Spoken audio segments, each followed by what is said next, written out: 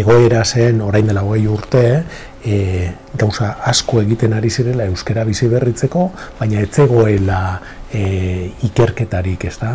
Ikerketa nahikorik, oso ikerketa gutxi zegoela. Ordan hori e, gainditzeko edo, e, pentsatu zuten egokiena izango litzatekeela eragileekin arloan e, arloan eragiten ari ziren e, erakunde horiekin batera ikergune bat sortzia. Beraz, hasiera hasieratik izan ziren unibertsitateko irakasleak, ikertzaileak, gehi e, arloko eragileak eta hortik sortu zen e, soziolinguistika klusterra soziolinguistika klusterra da hizkuntza eta gizartea, euskara eta gizartea aztertzen dituen bilgunea eta hori dena helburu zientifiko batekin. Gure egitekoa da beraz ikerketa egitea, euskara bizi berritzeko ikergunea gara. Guk ikerketa proiektuak egiten ditugu. Nahi duguna jakin da, e, alde batetik, zein den euskararen egoera, eta beste alde batetik egoera hori nola hobetu dezakegun. Eta gainera e, guk e, hor egiten den lan guztiari buruzko informazio hori dena zabaldu egin nahi dugu. Proiekturik ezagunena eta hundiena ero izango litzateke e, kale neurketa hizkuntzen erabileraren kale neurketa. Hori egiten dugu Euskal Herri osokoa bost urtean behin, orain hasi zaizkigu kanpotik ere proiektuak eskatzen eta galesen ari gara lehenengo kale neurketa egiten. Beraiek ez daukate daturik erabileraren inguruan, ez da inkesta bidez ere ez dauzkate urte bete zibili gara hori prestatzen eta eta oraintxe egin dira zerak e, kale neurketak eta oraintxe ari gara txostenak eta egiten, laizterre aurkezpenak eta egiteko aurtengo urtean. Hori lurralde eta ingurune oso desberdina dauzkagu euskararen lurraldean, ez da Euskal Herri osoan oso desberdina da egoera soziolinguistikoa e, alde batetik e, lurralde administratibo batetik beste batera legeak ere oso desberdinak direlako, baina lurralde baten barruan bertan ere oso desberdinak, e, oso egoera desberdinak daude. Guk lortzen dugun e, daturik garrantzitsuena e, zera da, kalen neurketa da, eta hor ikusten duguna da, eutxi egiten zaiola erabilerari, kaleko erabilerari, baina ez dugula lortzen ematerik e, goraka da nabarmenik. Baditu guala eta guztiz ere, zenbait aspektu oso positibo. Adibidez, gazteak dira, gazteak eta umeak gazteenak dira, gehien erabiltzen dutenak e, hizkuntza. Hori behar bestekoa da, nahikoa da, e, ez da git, amesten dugun bizi berritze horretarako edo, argita garbi ez, hori ez da nahikoa.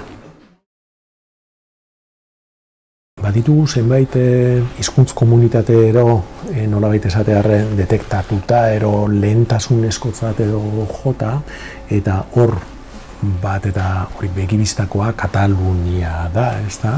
E, kata, urbiltasunagatik, e, estatu, zati handi batean, mentzat, estatu beraren e, barruan gaudelako, eta beste zati batean ere, bai, hori bada guretzako erreferentzia puntu handi bat, gainera ikerketaren munduan e, zalantzarik ere, ez? Beste bat izango litzake gales, e, galesekin ere badaukagu konexio berezi bat, hain zuzen ere, gauza asko konpartitzen ditugulako beraiekin. Galesera eta ingelesa, dugu ingelesez oso ondo jakinarren, e galesez, galeserazko, galesezko zerak errotuluak ez dituzu lertuko, ez da?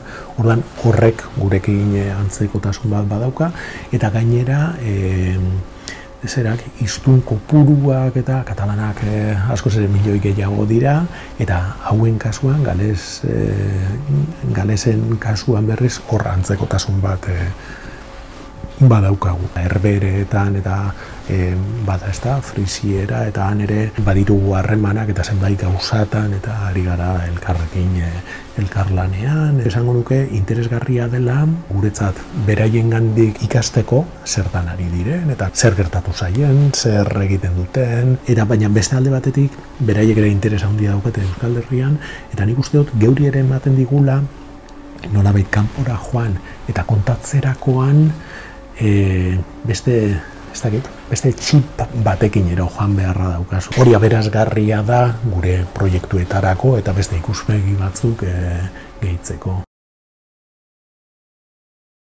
Lan munduari helduz edo, e, ari gara azken urteetan metodologia batzuk prestatzen e, izkuntz oituren aldaketan e, laguntzeko, ez da? Deno dakigu hori, hori ez dela erraza, ez da? Ez dagoela errezeta, e, errazek eta errezeta guztientzako izango den errezetarik, eta gu ez gara ari horren bila, baizik eta e, zientifikoki frogatutako zenbait e, tresnaren bila, ez da?